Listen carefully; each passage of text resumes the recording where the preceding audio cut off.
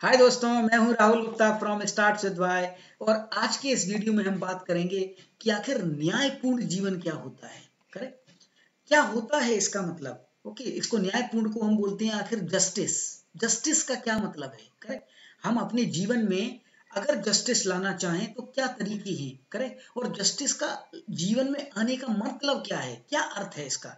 तो जानेंगे इस वीडियो में। ओके बने रहिए मेरे साथ अंत तक। तो सबसे पहले अपन बात करते हैं कि आखिर जस्टिस का मतलब क्या है?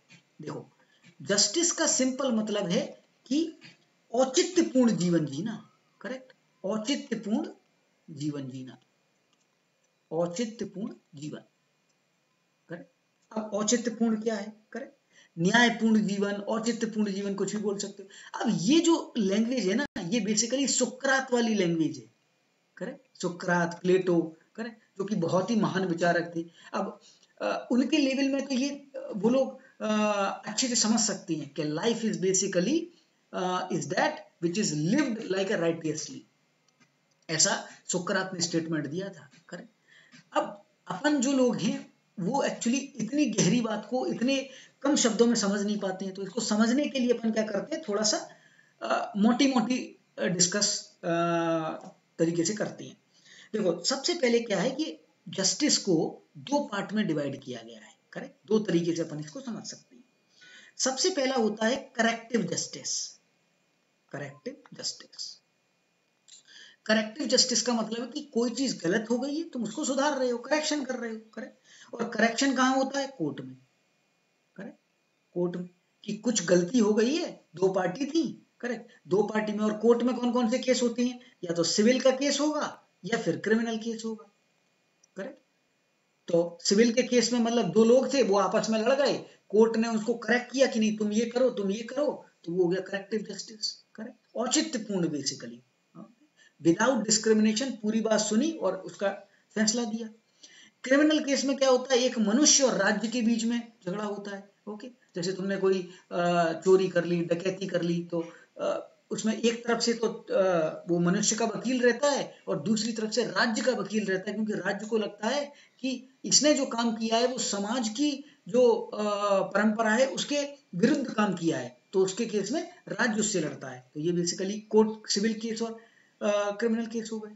करेक्ट तो ये हो गया करेक्टिव जस्टिस ओके तो करेक्टिव जस्टिस का सिंपल मतलब क्या है कि कोई भी गलत काम ओके कोई भी गलत काम को सुधारना।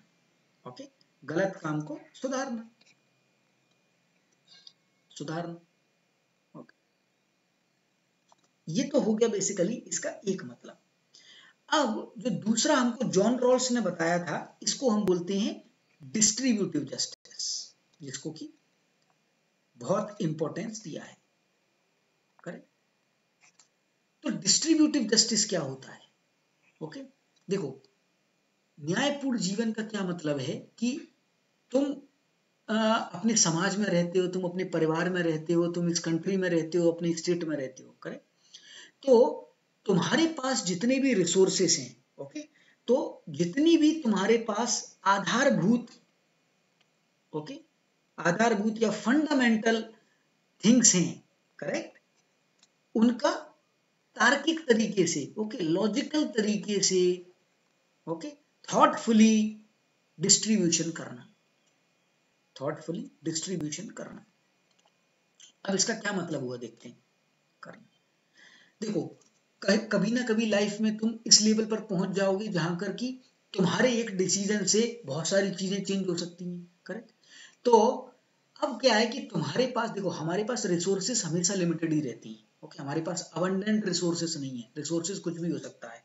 करेक्ट अब उस जो हमारे पास लिमिटेड रिसोर्सेस है उस लिमिटेड रिसोर्स में ही हमको सबको डिस्ट्रीब्यूट करना है जो भी है। घर पे अगर जैसे पिताजी दो किलो आम लेके आए करेक्ट अब घर पे लट से दस सदस्य हैं तो कितना आम किस किस को देना है करेक्ट इसमें एक लॉजिकल थॉट प्रोसेस होना चाहिए कि नहीं होना चाहिए करेक्ट कि पता पड़ा आ, किसी एक को चार आम दे दिए किसी एक को आधा ही आम मिला करेक्ट तो वो एक लॉजिकल थॉटफुली डिस्ट्रीब्यूशन नहीं हुआ है।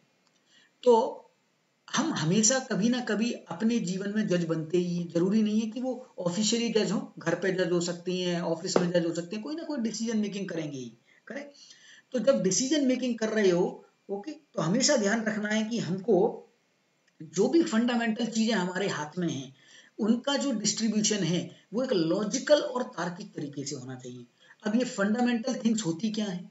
करेक्ट फंडामेंटल थिंग्स हो सकती हैं कि जैसे कि मनी हो अगर तुम फाइनेंस डिपार्टमेंट में वो मनी डिस्ट्रीब्यूट कर रहे हो सैलरी डिस्ट्रीब्यूट कर रहे हो तो बिल्कुल तार्किक तरीके से होनी चाहिए करेक्ट कोई अगर जैसे तुम्हारी फैमिली है, तुम्हारे पास कोई वेल्थ है ओके तुम अपनी विल लिख रहे हो कि भाई, ये दुकान में इसको दूँगा, ये मकान में उसको दूँगा, इस तरीके से। तो फंडामेंटल चीज़ें हैं, उनका धन हुआ ओके संपदा हुई, उसके बाद और क्या हो सकता है? पावर करेक्ट पावर का डिस्ट्रीब्यूशन ओके, कि इसको ये पावर मिलनी चाहिए, उसको वो पावर मिलनी चाहिए, इसको ये पावर मिलनी चाहिए करेक्ट फिर राइट्स अधिकार कौन कौन से अधिकार किस किस को मिलनी चाहिए? इसका लॉजिकल डिस्ट्रीब्यूशन इसको अपन समाज के तहत भी देख सकते हैं और कंपनी या अपने व्यवसाय के प्रति भी देख सकते हैं करेक्ट तीसरा क्या हो सकता है कि सम्मान करेक्ट तुमको सम्मान का जो डिस्ट्रीब्यूशन है, वो प्रॉपर तरीके से हो, और क्या हो सकता है? और हो सकता है प्रतिष्ठा करेक्ट कि जो प्रतिष्ठा है, उसका जो डिस्ट्रीब्यूशन है करेक्ट वो भी एक लॉजिकल थॉट प्रोसेस के थ्रू होना चाहिए। और क्या हो सकता है? अधिकार हो ही चुके हैं करेक्ट कर्तव्य हो गए करेक्ट तो मोटा मोटी बेसिकली क्या है कि जितने भी हमारे पास फंडामेंटल चीज़ें हैं, उनका डिस्ट्रीब्यूशन एक लॉजिकल थॉटफुली तरीके से अगर हम कर पाते हैं तो हम एक न्यायपूर्ण जीवन जी रहे हैं।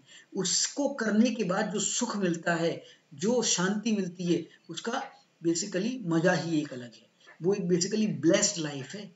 तो इसी को हम बोलते हैं न्यायपूर्ण जीवन जीना कि हम जितने भी रिसोर्सेस हमारे पास हैं, उनको लॉजिकली और थॉटफुल तरीके से डिस्ट्रीब्यूट कर पाते हैं, सही से डिसीज़न मेकिंग कर सकते हैं करेक्ट बिना किसी डिस्क्रिमिनेशन के। इसी को हम बोलते हैं न्यायपूर्ण जीवन। ओके तो बताइए, आपका क्या सोचना है इस शब्द के ऊपर, न्यायपूर्ण जीवन के ऊपर कमेंट में?